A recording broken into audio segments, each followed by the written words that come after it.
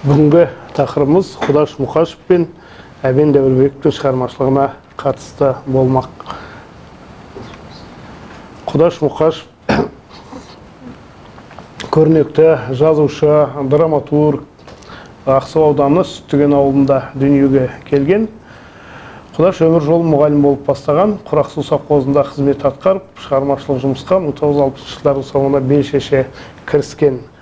Бірақ бар жоғы 39 жасында сол артына мол мұра қалдырып дүниеден өткен жазушының бірі.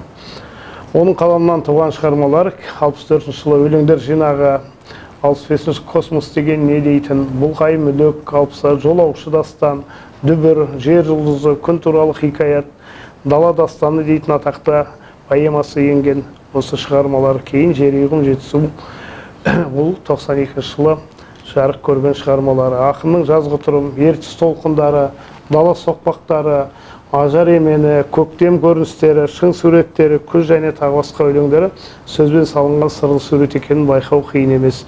Өлеңдердің табиғаттың тамаша бір көрінісі көзіңе нақты елестейді. Мұны құдаштың көктем көріністері өлеңінен көруге оқуға болады. Ұстаз деп аталатын өлеңінде ақсу өңірінен шыққан алғашқы ағартушылардың бірі ұлы отан соғысының ардагері марқұм бұғыбай айсеркеновтің бейнесін жасап сол арқылы ұстаз атаулыны ардақтайды.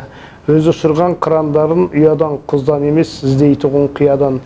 Біз бәріміз берешекпіз ұстазға ұстаздықты ұстаздарды сүй адам деп жырлаған екен. Құдаш мұқашевтың кезіндегі құжаттары құдаш мұқашевтың бейне фотосуреттері енді тақырып аясына келсек құдаш мұқашев шығармаларының ол табиғат лирикасы туған жер ел атамекен жайлы толғанған шығармалары махаббат көңіл күй лирикалары саяси әлеуметтік лирика. Міне бұл құдаш мұқашев шығармаларының поэзиясының басты тақырыптары. Сырласу деген өлеңінен бір қысқа мысал келтірейік. Осы жұрт махаббат деседі ал мені арулар сүймай ақ жүрек тағдырын шешеді еріндер ерінге тимей ақ мен кейде түк ұқпай кетемін. Сөзіме күлмейлі күлмейлі шынында махаббат не екен әлі күн еш адам білмейді.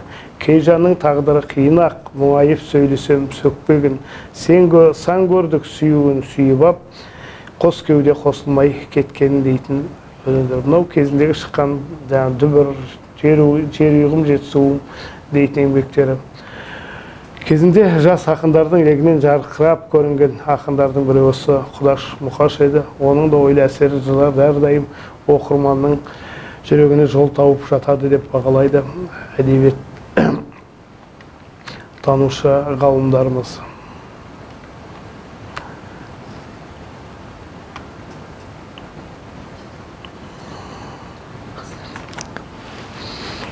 келесі танысар ақынымыз әбен дәуренбеков.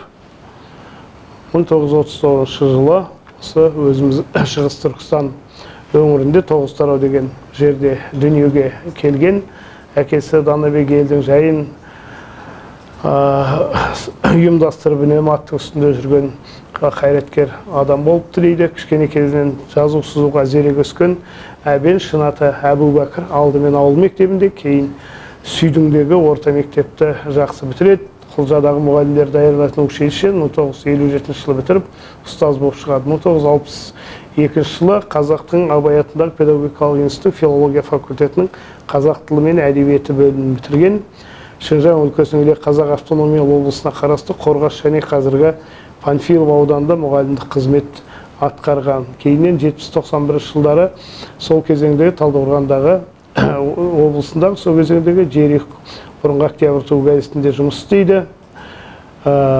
Экономикалық әдеби мәдени проблемаларды қамтыған сол кезеңдерде көптеген мақалаларын публистикалық еңбектерін жазған адам. Енді жазушы жаңағы әбен дәуренбектің кейіннен жарық көрген жинақтарына тоқталып кетейік. Мамыр айы таң саяхат мөлдір тамшы құс тілінен тамған жырдың дәруі жарқын жаз тамшы бұлақ балконнан шыққан көгершін дейтін шығармалардың бәрі тікелей осы әбен дәуренбековтің жинақ лирикалық жинақтары міне.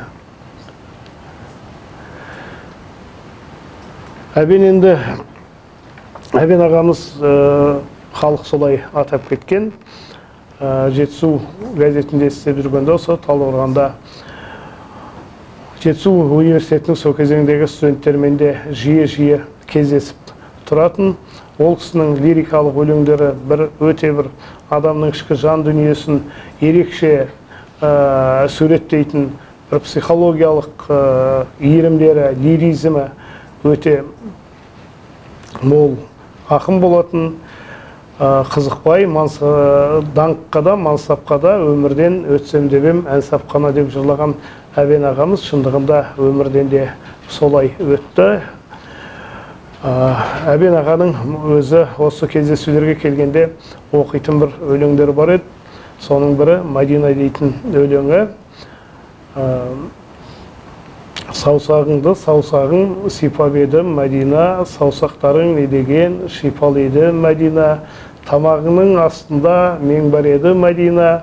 Сол бір менге қадалып мен бар еді мәдина деп өзі де жымия күліп өткен өмірлерін есіне алып осындай өлеңдерін оқып тұратын. Және сол кезеңдегі осы жетісу газетінде істеген ақындардың ішінде әбен аға өте жақын жүрген ақындардың бірі жұматай жақыпбаев. Олардың екеуінің арасы ындағы достық әзіл деген халықтың арасында бүгін аңыз болып айтып кеткен бірде әбен ағамыз шалқып келе жатып қасындағы жұматайға әй жұматай анау тұрған менің үйім анау гастроном енді осыны ұйқастыра қойшы дейді сонда ә, жұматай жақыпбаев жұлып алғандай үйіңнің асты да дом үсті де дом жаныңа тиіп тұр ғой гастроном деген екен дейді